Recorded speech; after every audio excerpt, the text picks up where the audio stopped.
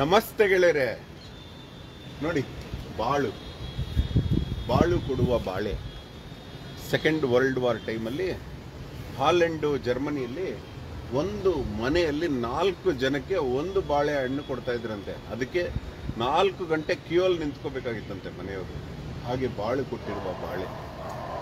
ನಮ್ಮ ಭಾರತ ದೇಶದಲ್ಲಿ ಸುಮಾರು ನಲವತ್ತು ಪ್ರತಿಶತ ಜನ ಅಂದರೆ ಸುಮಾರು ಐವತ್ತು ಕೋಟಿ ಜನ ಬಾಳೆಹಣ್ಣು ತಿಂದು ಬದುಕುತ್ತಿದ್ದಾರೆ ಅಂತ ಒಂದು ಸಲ ಪಾರ್ಲಿಮೆಂಟಲ್ಲಿ ಪ್ರಧಾನಮಂತ್ರಿ ಹೇಳಿ, ಈ ಬಾಳೆಹಣ್ಣಿನ ಬೆಳೆಯನ್ನು ಸಮೃದ್ಧಿಗೊಳಿಸಲು, ವಿಟಮಿನ್ ಪ್ರೋಟೀನ್ನಿಂದ ಸಮೃದ್ಧಿಗೊಳಿಸಲು ಆಸ್ಟ್ರೇಲಿಯಾದಲ್ಲಿ ಒಬ್ಬ ಸೈಂಟಿಸ್ಟ್ ಮನೆಗೆ ಹೋಗಿರ್ತಾರೆ ಪ್ರಧಾನಮಂತ್ರಿ.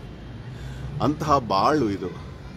ಯಾಕೆ ಇವತ್ತು ಏನಂತ ಅದರಲ್ಲಿ ಬಾಳೆ ನಮಗೆ ಗೊತ್ತಿಲ್ಲ ಅಂತ ನೀವು ಕೇಳ್ಬೋದು. ಇದು ನಾವು ಇರುವಂತಹ ಬಿಲ್ಡಿಂಗ್. ಇದು ಮೊದಲನೇ ಮಹಡಿ. ಇದರ ಕೆಳಗಡೆ ಎರಡು ಮಹಡಿಗಳಿದೆ.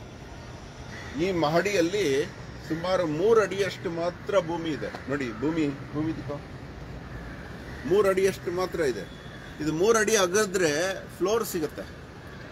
ಅಂತ ಮೂರನೇ ಮಹಡಿಯಲ್ಲಿ ಸುಮಾರು ಒಂಬತ್ತರಿಂದ ಹದಿಮೂರು ವರ್ಷದಿಂದ, ಒಂಬತ್ತು ವರ್ಷ ಒಂದು ಬಿಲ್ಡಿಂಗ್, ಒಂದು ಮನೆ, ನಾಲ್ಕು ವರ್ಷ ಒಂದು ಮನೆ, ಹದಿಮೂರು ವರ್ಷದಿಂದ ಅಹೋರಾತ್ರ ಈ ಗಿಡವನ್ನು ನೋಡ್ತಾ ಇದ್ದಾರೆ. ಬಟ್ ನಮ್ಮ ಕರ್ನಾಟಕದ ರೈತರು, ನಮ್ಮ ಭಾರತೀಯ ರೈತರಲ್ಲಿ ಒಂದು ವ್ಯಹಂ ಬಂದ್ಬಿಟ್ಟಿದೆ.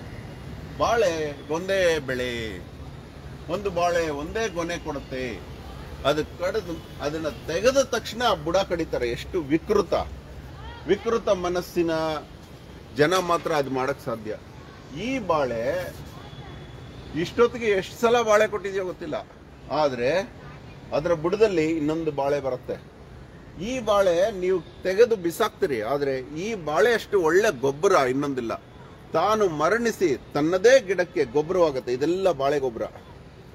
ಇದು ತಾನು ಮರಣಿಸಿ ತನ್ನದೇ ಗಿಡಕ್ಕೆ ಗೊಬ್ಬರ ಆಗುತ್ತೆ.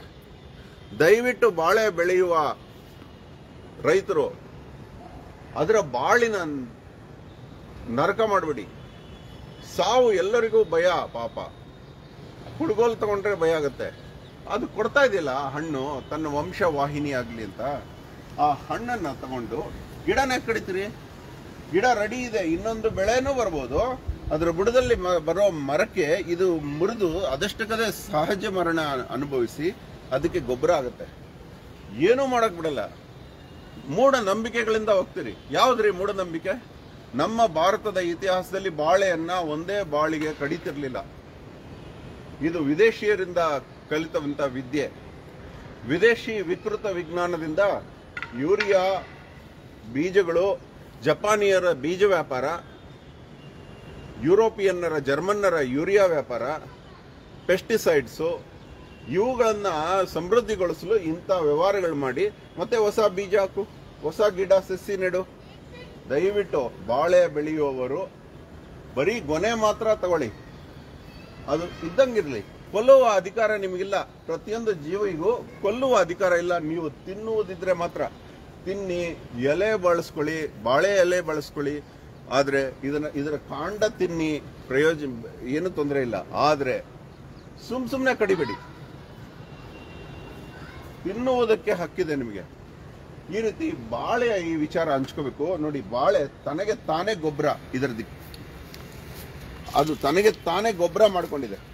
ನೋಡಿ, ಇದೆಲ್ಲ ಬಾಳೆ ತನಗೆ ತಾನೇ ಗೊಬ್ಬರ ಮಾಡಿಕೊಂಡು ಅನೇಕ ಸಸಿಗಳನ್ನು ನೆಡ್ತಾ ಇದೆ. ಹದಿಮೂರು ವರ್ಷದಿಂದ ಈ ಬಾಳೆ ಗಿಡ ಇಲ್ಲಿ ಅಹೋರಾತ್ರ ಪ್ರತಿನಿತ್ಯ ನೋಡುತ್ತಾನೆ, ಇದರ ನೆರಳಲ್ಲಿ ಕೂಡುತ್ತಾನೆ.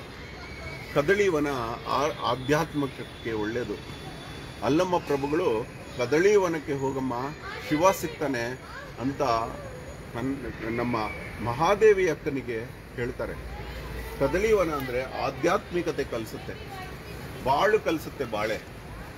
ಬಾಳೆಯ ಉಸಿರು ತುಂಬ ಒಳ್ಳೆಯದು ನೋಡಿ ಬಾಳೆ. ಬಾಳೆಯಿಂದ ಬರುವ ಉಸಿರು ತುಂಬ ಒಳ್ಳೆಯದು ಬಾಳೆ ಬಿಡುವ ಆಕ್ಸಿಜನ್ ತುಂಬ ಒಳ್ಳೆಯದು ನಮ್ಮ ವೇದಾಂತಗಳಲ್ಲಿ ಐವತ್ತೊಂದು ಅಗ್ನಿಗಳಿದೆ. ಐವತ್ತೊಂದು ವಾಯುಗಳಿದೆ. ಸೈನ್ಸ್ ಪ್ರಕಾರ ಒಂದೇ ಓಟು ಆಕ್ಸಿಜನ್. ಆದರೆ ಎಲೆ ಎಲೆನೂ ಬೇರೆ ಬೇರೆ ಓಟು ಬಿಡುತ್ತೆ.